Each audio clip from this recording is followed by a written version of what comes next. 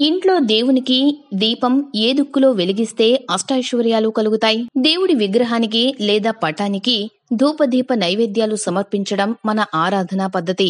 ఉదయం వెలిగించు దీపము కన్నా ప్రదోషకాలమందు వెలిగించు దీపం అత్యంత మంగళకరమైనదిగా పెద్దల మాట.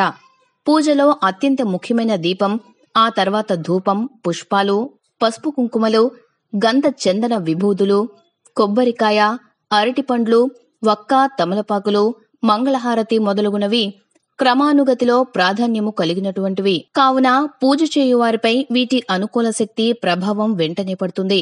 అష్టోత్తరములు మరియు శ్లోకములు మనలో దాగి ఉన్న దైవీ శక్తులను మేలుకొల్పి మనకు మానసిక శారీరక శుభాలను కలిగిస్తాయి.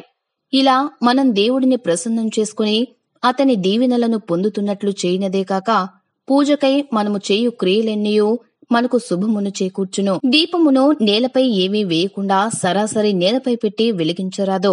ఆటి ఆకును గాని తమలపాకును గాని పళ్ళెమును కాని నీటితో శుభ్రం చేసి ముగ్గు వేసిన నేలపై ఉంచి దీపం గుంది పెట్టాలి.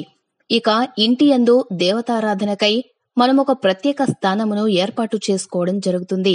ఆ స్థలం నేలకు కాస్త పైభాగంలో ఉండినట్లు చూసుకోవాలి. నేలను తాకునట్లు పూజా ద్రవ్యములు మరియు పవిత్ర గ్రంథములు ఉంచరాదు. దీపంలోని చమురుకై ఆవు నెయ్యిని కాని నల్ల నువ్వుల నూనెను గాని వాడుట శ్రేష్టం.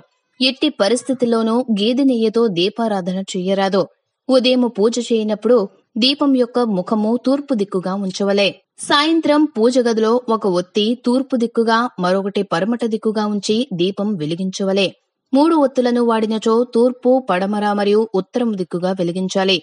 ఇక ఐదు ఒత్తులను వెలిగించదల్చిన తూర్పు పడమర ఉత్తర దక్షిణ మరియు ఈశాన్య దిక్కునకు వెలిగించాలి.